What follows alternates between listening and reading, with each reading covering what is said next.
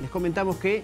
la carretera central, una buena noticia, ya está reabierta y en ambos sentidos. Esto lo ha confirmado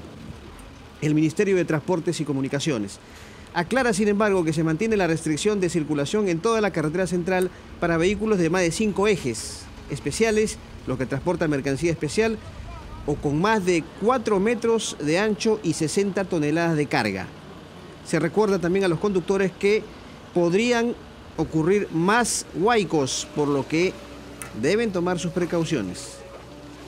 Que la vía ya ha sido aperturada desde el día de ayer en la noche eh, en forma permanente, pero se les recuerda que eh, en forma eh, intermitente a, a, partir de los kilómetros este 82, 80, especialmente 82, 79, puede haber interrupciones eh, de 30 minutos porque van a llevar, este, van a transportar o, va a entrar una carga de, de, piedras o de algún tipo de, de, maquinaria que se necesite, pero la, vía está totalmente habilitada. Tenemos desde la, tenemos desde, desde, la, desde Corcona eh, hasta, eh, bueno, toda la carretera central, todo, eh, tenemos personal de la Policía Carretera y todavía continuamos con personal de apoyo de la región Lima en su sector para este, prevenir, especialmente si, que, si hay otra, otra, otro, otro problema de, de lluvias o de huecos, actuar en forma inmediata.